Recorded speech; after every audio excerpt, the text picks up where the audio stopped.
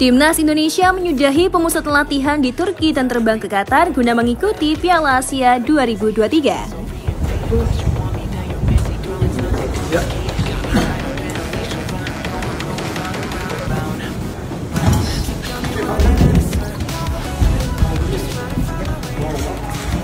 Tisi yang berlangsung sejak 21 Desember di Antalya, Turki, berakhir pada 6 Januari pada Sabtu malam. Skuad Garuda meninggalkan Antalya.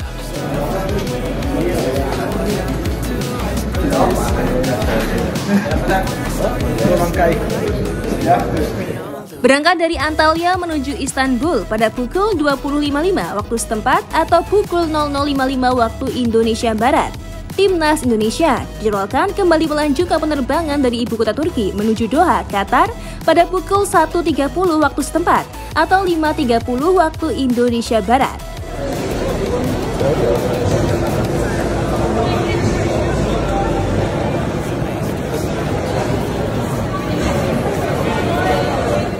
Dalam perjalanan menuju Qatar, anak asuh Sintayong terlihat cukup menikmati suasana kebersamaan mereka.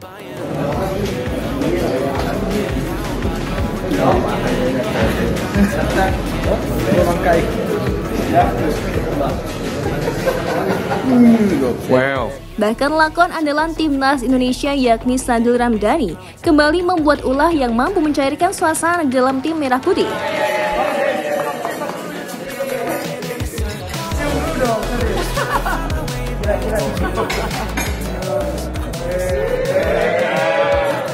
Pemain yang hobi usil ke teman sendiri ini menjadikan Sandiwo sebagai sasaran kejailan sang pemain. Saat melakukan foto bersama di dalam pesawat, Sandi Ramdhani tampak menunjukkan pose foto yang tak biasa.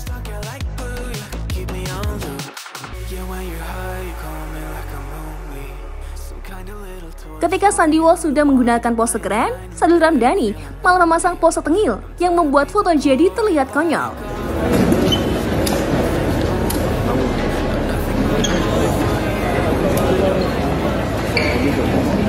Selain itu, dalam sebuah rekaman memperlihatkan bagaimana keakraban pemain kocak ini dengan sang pemain berdarah Eropa.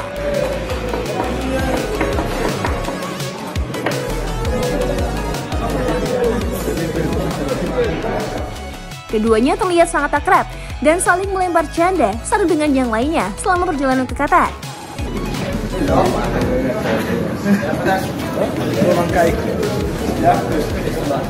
Kerekatan Sandi Ramdhani dengan pemain naturalisasi timnas Indonesia cukup baik. Sandi dinilai mampu menghibur pemain baru yang gabung timnas Indonesia.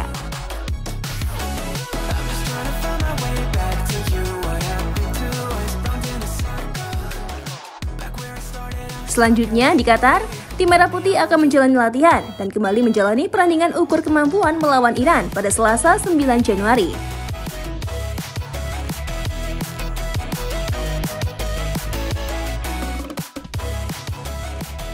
Iran merupakan salah satu kesebelasan unggul pada Piala Asia.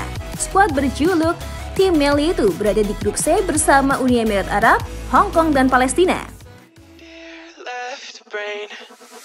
Don't say we can't, oh just don't say another word. These thoughts you've imagined. Indonesia akan menjalani pertandingan pertama di Piala Asia 2023 dengan menghadapi Irak pada 15 Januari di Stadion Ahmad bin Ali Al Rayyan.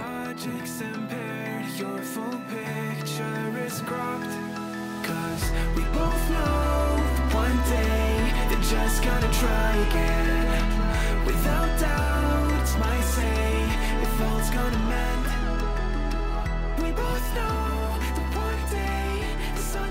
Sementara dua laga selanjutnya bagi skuad Garuda akan berlangsung di Doha saat melawan Vietnam 19 Januari. Perandingan bakal berlangsung di Stadion Abdullah bin Khalifa. Sedangkan laga pamungkas fase grup melawan Jepang 24 Januari bakal digelar di Stadion Al Tuama. Tarik tarik tarik. Ya.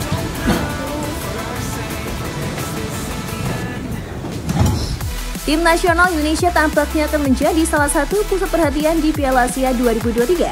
Sebab Penampilan mereka akan dipantau mengingat timnas Indonesia adalah tim dengan skuad termuda di kompetisi sepak bola benua Asia itu. Tarik kencang, tarik kencang, tarik kencang.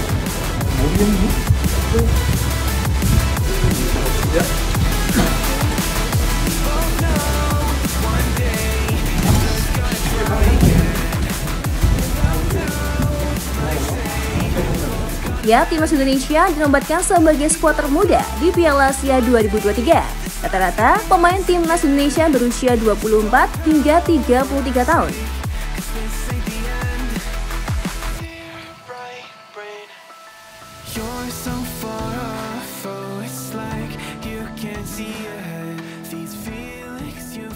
Sebelumnya, Sintayong telah mengumumkan 26 pemain untuk tampil di Piala Asia 2023 yang berlangsung di Qatar dari 12 Januari hingga 10 Februari 2024.